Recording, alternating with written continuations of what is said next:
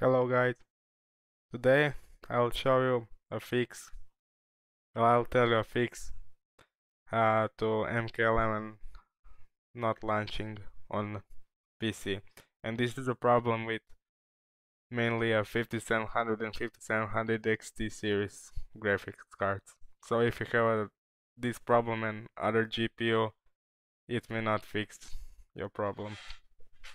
So fixes basically a downgrade of GPU drivers.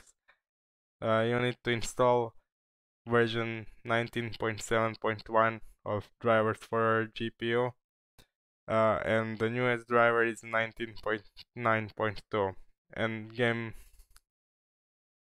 is not working with that version. So you basically need to do this downgrade and I'll show you that the game is working now and it didn't work for me before.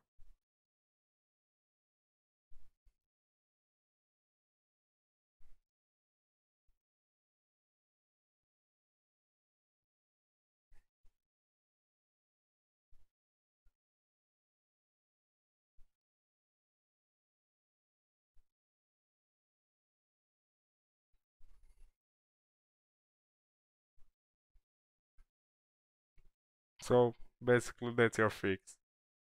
Well, temporarily fix. That's actually make your game work.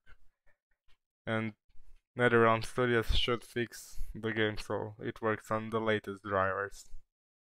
You know. But now you know how to play your game again.